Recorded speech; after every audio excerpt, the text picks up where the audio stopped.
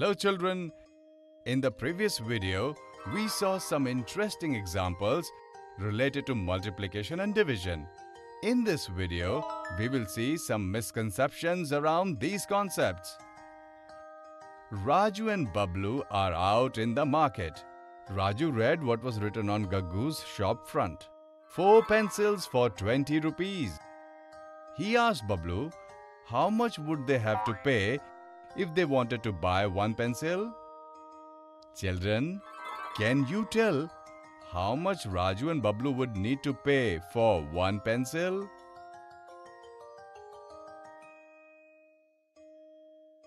Oh yes, Raju and Bablu will need to pay 5 rupees for one pencil. We can find this answer with division like this. Children, how can we write this in terms of multiplication? Absolutely correct. This is the way in which we can write it in terms of multiplication. 4 pencils and each pencil costs 5 rupees. So, the total is 20 rupees. Bablu quickly handed 5 rupees to Gaggu and bought the pencil. Raju was amazed at how fast Bablu had calculated the answer. Then Bablu wrote these division and multiplication equations for Raju. He told Raju that he found the answer for division by using multiplication. Raju got excited when he heard about the relation between division and multiplication. Raju said to Bablu that he can write this multiplication like this also. 5 rupees per pencil and 4 pencils, so the total amount is 20 rupees. Children, has Raju written it correctly? Yes, he has. Raju has written this correctly.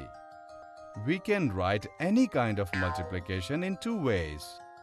Then Raju thought that he can also write division in two ways because of the relation between division and multiplication. Therefore, after writing division like this, he happily told Bablu that he had become an expert in maths. Children, is the division written by Raju correct? No, what Raju has written is wrong. But uh, why is it wrong? Because here Raju is dividing 4 pencils in 20 rupees. And is this even possible? Not at all. This is not possible.